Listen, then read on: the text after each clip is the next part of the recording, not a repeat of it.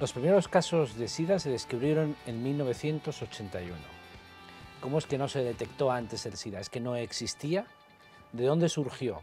¿Cuál es su origen? ¿Cuántos tipos de virus VIH hay? Yo te voy a contar, eh, no te voy a contar especulaciones y algunas teorías especulativas que hay, sino nos vamos eh, a fijar en datos de comparación de genomas del virus VIH. En realidad no podemos hablar de un único virus VIH. Existen muchos tipos distintos del virus VIH. Tiene una alta tasa de mutación, una alta tasa de variabilidad y eso hace que haya distintos tipos. En realidad, en un paciente, en una persona, podemos llegar a aislar varios miles de estirpes genéticas distintas. Del, virus VIH hay dos genotipos distintos, lo que se denomina el VIH de tipo 1 y el VIH de tipo 2 son antigénicamente diferentes y su genoma difiere casi un 40-50%. El virus de tipo VIH1, a su vez, eh, hay varios, varios subtipos, lo que se denomina el subtipo M, N, O y P.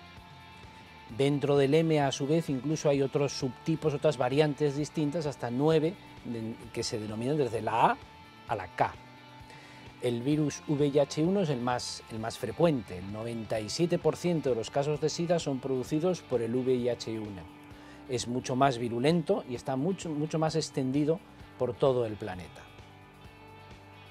Además, podemos aislar en un paciente eh, estirpes híbridas, lo que se denominan eh, formas circulantes, que son híbridos de estos virus que acabamos de hablar.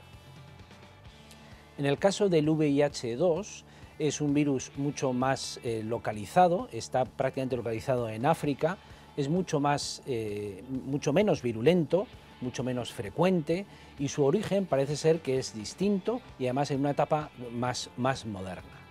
También hay algunas variantes dentro del virus VIH2. ¿Cuál es el origen del, virus VIH?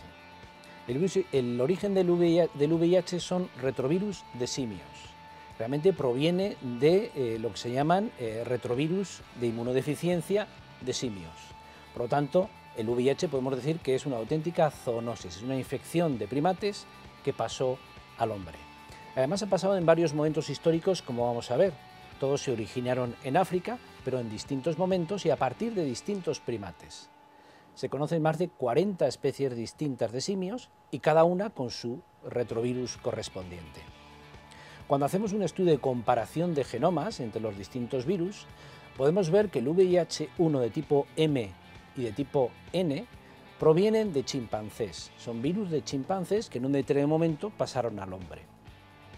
Los subtipos O y P provienen de gorilas. Eran retrovirus de gorilas que también en un determinado momento pasaron al hombre.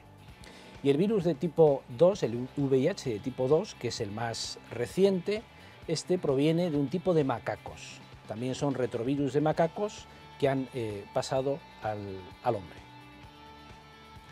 ¿Y cuándo se originaron estos virus? ¿Cuándo, ¿Cuándo, fue el paso desde, desde los primates hasta, hasta, el ser humano? ¿Eh? Las primeras evidencias de, probablemente de, de, infección por VIH son del año 59, pero estos virus parece ser que pasaron al hombre mucho antes. El más antiguo parece ser que es el virus de tipo M, que eh, es de principios de siglo, de 1900.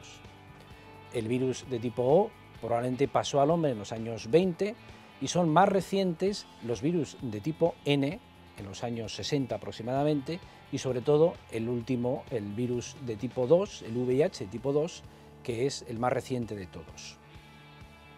El origen, por lo tanto, de manera de resumen, el origen, por tanto, del virus HIV es, un origen de primates, es un virus de primates que pasó al hombre, sabemos que de distintos primates y en distintos momentos históricos.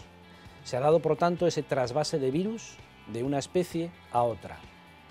No podemos, por lo tanto, eh, descartar que en el futuro pueda ocurrir algún tipo eh, de pase de virus de primates a humanos y pueda aparecer de nuevo otra estirpe distinta del virus HIV.